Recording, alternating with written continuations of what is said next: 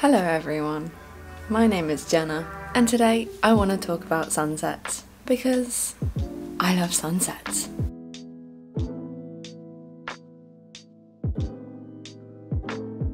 I think it's genuinely one of the best parts of life. It's watching a nice sunset. They come in so many different forms, like so many different colours. I just think they're really beautiful and I love painting. So, therefore, sunsets plus painting equals many, many sunset paintings. I've painted a fair few sunset paintings by now, so here you go. I'm going to be showing you today how I go about painting sunsets. Sunsets, Jenna style. Do I have a style with sunsets? No, I absolutely do not. So today we're going to be painting a simple sunset. They're quite hard to paint with the clouds and everything, so I thought let's just start with a simple. We can always add in the clouds in another video. Okay, so let's get into it. Yay. First, before we start, you're going to want to be able to paint a gradient. I'm pretty sure you'll know what a gradient is, but it's basically blends of colours. And we're, we're going to want to practice blending two colours, so a two colour gradient. Of course there are gradients with many, many more colours. So today we'll do two, because this is a simple sunset. Not a complicated one, thank you. And you're going to want to get your two colours, mix them up on your palette, and then we can start the gradient. You're going to want to start with one colour, put it on your paper or your canvas, whatever you're painting on. And then you're going to want to go back to the palette and add in a little bit of the other colour you mixed. Mix it and then add it. And then keep going back to the colours. Keep adding a little bit of the other colour to the uh, first colour you've used. And then bit by bit you will be able to paint your gradient because the colour is changing little bit at a time towards the other colour that you've mixed. Does that make sense? I hope it does. Um, you're going to want to practice this a few times um, just so you can get the knack of it.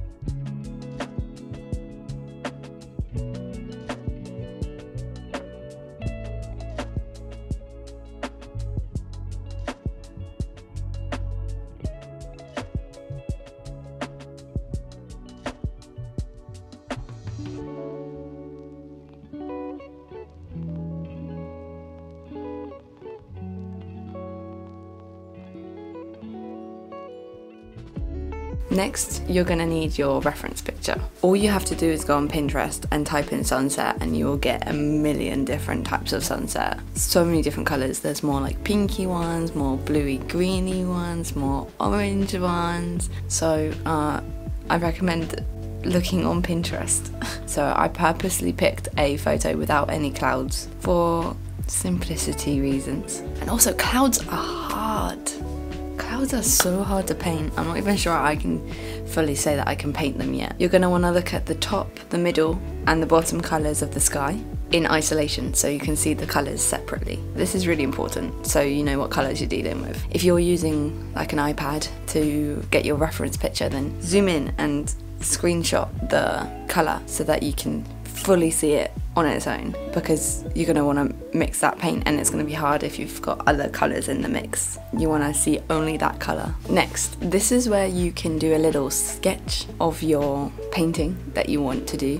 I decided to do one that was very very simple with only some flowers at the bottom so I didn't really need to sketch it. But if you're going to do a landscape with some stuff going on, if you do want to do clouds, then you can sketch them in now. Remember the rule of thirds. Paintings and pictures always look better when the subject is in the third of the picture. So like this, like this. I will show you. I will just show you a picture.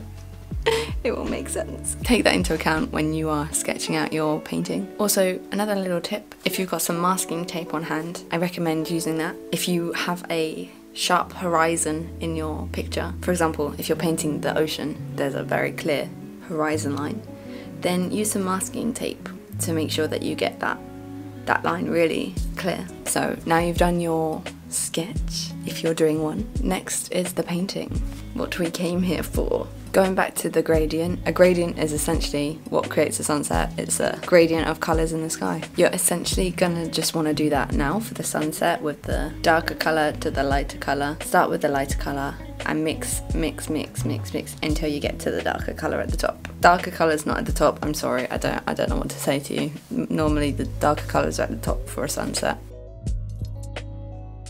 So, always start with the light colours. If you've got a sun in your picture, then you're going to want to start with that area and then work outwards from light to dark, gradually mixing in the darker colour that you've got for the top of your sky or wherever the darker places are. Side note, acrylics dry really quickly, so you have to be quick. This is why you have to practice a lot because they dry really quickly. And if you're living somewhere hot like I am at the moment in Japan, then you blink and the acrylics are dried out. You can get um, medium to slow the drying time down um, and I've used this one before and this one I found to be very good so um, it essentially just keeps the acrylic wet for longer which I found to be very helpful. As you're painting the sky just keep an eye on what other things you've got going on in the picture. If you're painting an ocean it's very likely that the colours that you are mixing for the sky will actually appear in the ocean because the ocean obviously reflects the sky. So just keep an eye on what colours you have going on in the rest of the picture. When we're starting to paint and we've not got much experience with it, we just assume, oh, the ocean is blue, I will paint the ocean blue, even if the sky is like sunset orange.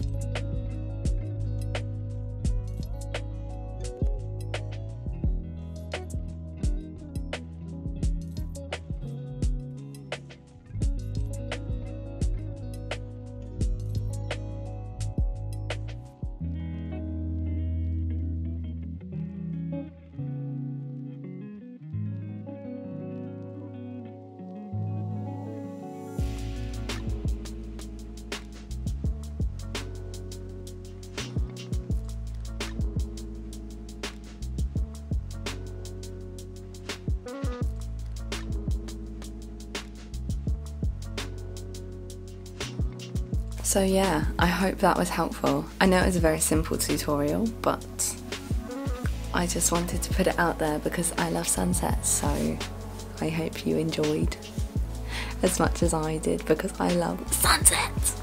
Yeah! I just think life is so much better with sunsets. Aren't we so lucky to be able to see a sunset every night? If it's not cloudy, that is. I think I'd love sunrises the same way if I woke up earlier. The key thing to take away is just keep practicing those gradients, mixing from one colour to another. Once you've mastered that, sunsets will be easy, or at least the simple ones with no clouds. So yeah, just keep practicing. You can do it. If you liked this video, then please consider giving it a little like on the cheeky YouTube like button. If you want to see more of my art and Japan related videos then subscribe to my YouTube channel, it will be lovely to have you along. If you enjoyed this art tutorial and you want to learn more art, then please leave a comment. Let me know what you want to learn and I will try and put it into a tutorial video. I'm not a professional, but I do like painting. So if you want to follow my art Instagram, then it's at art by dot jenna i hope you all have a wonderful day. Be kind to people and go out and see a sunset. See you in my next video. Bye